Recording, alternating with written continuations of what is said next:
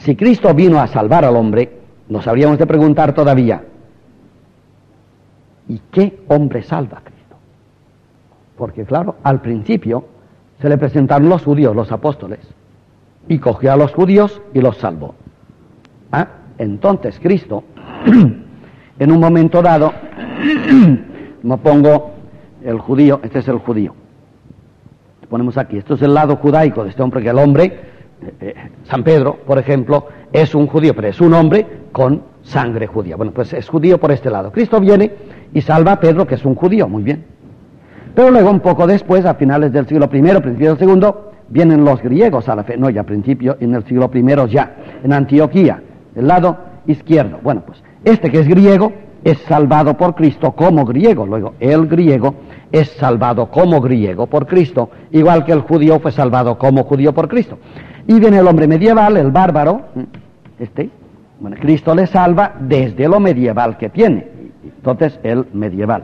Y así el renacimiento, y así nosotros, el hombre del siglo XX. El siglo XX, pues, este, esta es la característica del siglo XX, Cristo nos salva desde aquí. Bueno, entonces esto es el siglo XX. Nos preguntamos, ¿qué hombre vino a salvar Cristo? ¿Cristo vino a salvar al judío o al griego o al medieval o al hombre del siglo XX? Y uno dice, no, no, no. Cuidado que esto no lo tiene nadie muy claro, veo. Sobre todo en los momentos de, lucha, que son muy buenos porque son descubridores de lo que hay en el corazón del hombre, que esto es importante. Cuando todo va bien, cualquier patán navega bien, ¿verdad que sí? Sí, en agua dulce todo el mundo es navegante. Y no se distingue el, piloto o el patrón de barco del aficionado, no se distingue. Ahora, cuando el mar se encrespa y se ponen los vientos fieros, ahí se descubre el que sabe navegar. Estamos en tiempo de vientos fieros. El mar está encrespado y los aficionados se hunden. Y lo peor es que son tantos los que se hunden que sube desde el mar un clamor que dice, esto se acaba, esto se hunde. Y es todo. Toda la prensa del mundo, esto se hunde. Claro, son los tontos nada más. Los otros no se hunden. ¿eh? Los otros no se hunden. Los otros navegan. Navegan. Y espero que los cristianos sepamos esta gran verdad. Claro que si miras desde la luna, pues el 90% de humanos están bregando contra las olas y tragando agua. ¿Ah? Y, y un inmenso clamor que sube de la tierra. Sí, es un inmenso clamor, pero son los aficionados. Los navegantes, los cristianos de verdad, cortan las aguas y saldrán a la otra parte, a la paz del océano. Volvamos pues al tema. ¿Qué hombre salva a Cristo? El griego, el judío. Sí, desde luego. Luego viene el griego que piensa absolutamente al revés. Recuerden el concilio de Jerusalén que tiene todo el tema aquí. ¿Puede un pagano ser salvado sin pasar por la ley de Moisés? Y el primer cristianismo fue valiente y dijo, sí señor, un pagano pecador puede ser salvado por Cristo sin pasar por la circuncisión. Sí señor. Concilio de Jerusalén. Estamos en el año 39, 40, ¿eh? estamos a pocos años de Cristo, y ya están diciendo esto. Entonces Cristo salva al griego, sí. Luego vienen los siglos, los mil años del medioevo. Cristo salva al medieval, que no tiene de judío nada, o si tiene, lo que decíamos, sangre, algunas gotas de sangre judía, ni de griego, más que la herencia. y salva a Cristo al hombre del siglo XX. Sí. Bueno, y entonces el hombre del siglo XXI también lo salvará Cristo, siglo XX, el año 2000, lo salvará Cristo. Pero cuidado, el judío y el griego son absolutamente diferentes, radicalmente diferentes. De entrada en religión, este viene de una religión, la mosaica, la judaica, muy cercana al cristianismo, en la cual nació Cristo mismo. Esto viene del paganismo y posiblemente del politeísmo, el griego. Y Cristo lo salva. Este viene de la Edad Media, el hombre bárbaro, el que santificó la guerra, la, el hombre germano, que somos todos nosotros, el que se deleitaba matando moros durante 800 años. No eran solamente germanos, había hispanos por aquí, durante 800 años, que se llama la reconquista o la caza del moro. Matar un moro en una batalla era indulgencia plenaria. Con un moro muerto te ibas al cielo y San Pedro abría de par en par las puertas del cielo. Hoy da risa, pero nuestros abuelos estaban convencidos. Otro disparate del cristianismo, ¿verdad? Ah, tú verás. Hombre, lo mejor será abandonarlo. Tú verás, de esto ya hemos hablado. Pero ciertamente el Papa, en las, en las Navas de Tolosa, 1212, el Papa Inocencio III concedió indulgencia plenaria a quien muriera en la batalla matando moros, enemigos de la cruz de Cristo. Es decir, que este, a ti te daban, te daba el moro y te mataban, mientras estabas matando moros, este te ponía delante el camino del cielo recto. Entrabas de, estampida en el cielo, sin tocar purgatorio ni nada, aunque tuvieras en ti tantas oscuridades, desde, las negatividades de aquí, que la noche anterior habías pasado en francachelas, como le pasó a Pedro II de Aragón en Muret en 1213. Y había pasado la noche en francachelas que no se tenía y lo mataron. Pero como estaba matando, estaba trabajando, esta vez estaba cerca de los herejes albigenses, pero dejémoslo, estaba en una cruzada, entonces vas al cielo. Matar un moro te perdona todos los pecados de tu vida. Y nos reímos, ¿verdad? Nos reímos. Nos reímos y yo pienso por aquí dentro, suceden cosas muy gordas. Nos reímos gracias a la, a la sangre de nuestros abuelos que llevamos dentro. Es decir, que la risa que han hecho ustedes es contra la sangre que llevan. ¿eh?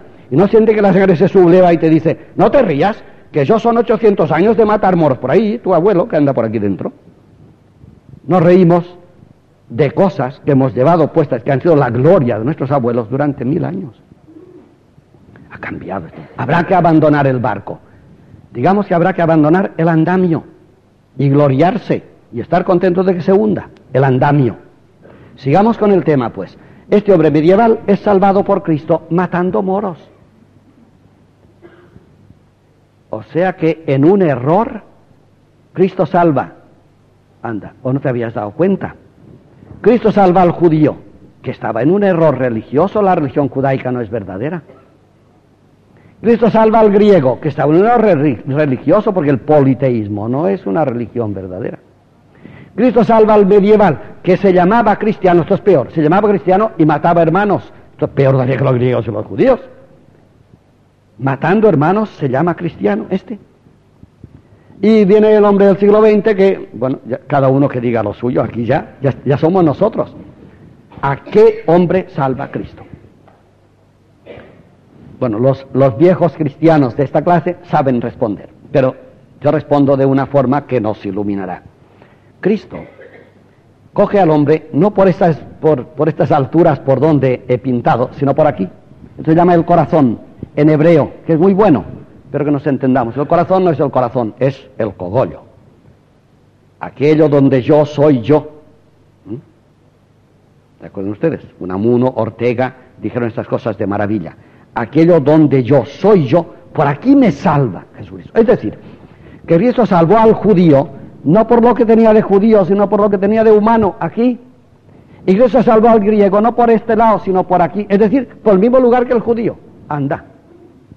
Y al medieval no lo cogió matando moros. Dios sabe, le cogió por aquí. Es decir, como al griego y al judío.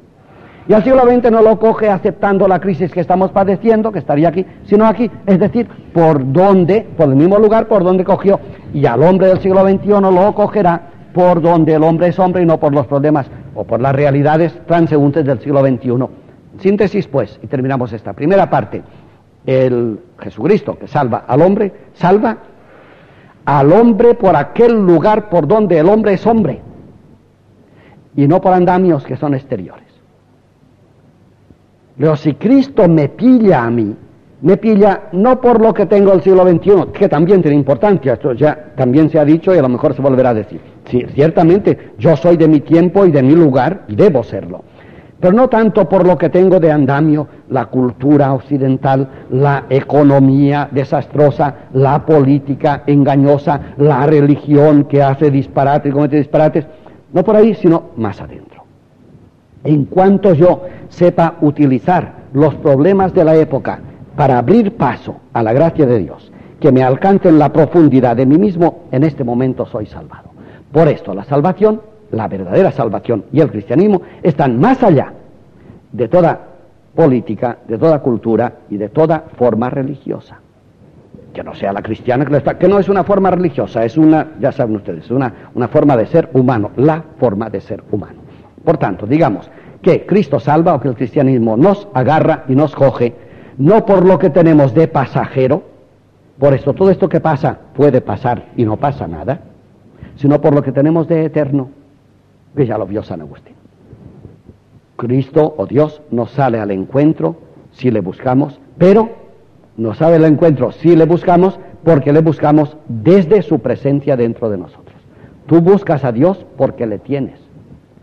Aquel cristiano que se llame cristiano y que no busca a Dios porque le tiene, y esto sucede, ¿verdad? A ver, la iglesia de Jesucristo no se ha equivocado jamás, ni en el juicio final, ni en el catecismo, ni matando moros, no se ha equivocado jamás. No. Eso es lo que le gusta a la gente que le diga. Y ya estamos tranquilos. Mira qué mentira más impresionante. La iglesia, que es una forma humana, digamos, un hombre, una colección de hombres, un hombre, tiene infinidad de Ns de cosas que se hunden. No es por aquí por donde le llega el cristianismo, le llega por el cogollo de dentro. Todo esto puede desaparecer y no sucede nada. Y hay tanto malestar porque mucho cristiano es cogido por Cristo por una parte superficial. Y mucha gente cree que el juicio final de Miguel Ángel forma parte de la teología eterna de la Iglesia. O que el catecismo del Padre Astete o el que vendrá forman parte del cogollo de la Iglesia. Forman parte de lo transeúnte de la Iglesia, que es indispensable. Pero el cogollo no. Y terminamos pues diciendo que Cristo viene y salva lo eterno del hombre. Y ahora, al desmontarse los andamios, estamos redescubriendo una vez más, debemos descubrir lo que es lo eterno del hombre, aquello que hace que seamos hombres. Y procurar, procurar que nunca se pueda decir que Cristo nos coge por lo superficial. A lo mejor entró por el lado judío, pero no se quedó en el lado judío, entró hasta dentro. Cristo me entra por el siglo XX, pero no se queda en el siglo XX, por el siglo XX le faltan siete años. Si Cristo me entra por el siglo XX y se queda aquí, el año 2000, ya no hay Cristo. Claro, ya no es el siglo XX, el año 2000. Ahora, Cristo me entra por el siglo XX, a través del siglo XX la cultura y las circunstancias se mete hasta el cogollo. Cuando pase el siglo XX, yo tengo a Cristo dentro.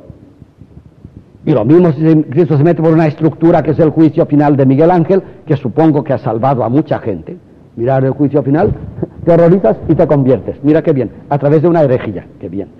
pues sí, sí, sí, sí, a través de una herejía. A través de una herejía, qué bien. Pero si tú te quedas en el juicio final, cuando termine el juicio final o te digan que es una herejía, te echas a temblar, como está pasando.